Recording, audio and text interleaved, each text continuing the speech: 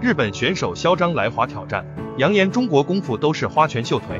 太极弟子韩飞龙霸气迎战，使出一记石破天惊的飞膝，加士大力沉的后手拳击中，直接将其放倒在地。现场医护人员迅速上台救治。这位嚣张的日本选手名册叫谷谷智久，是一位经验丰富的全能型选手，职业战绩三十三战二十胜二平十四次 KO KO 率超过百分之七十。世前雄踞 10kg 中量级排名第一，来华 KO 过西。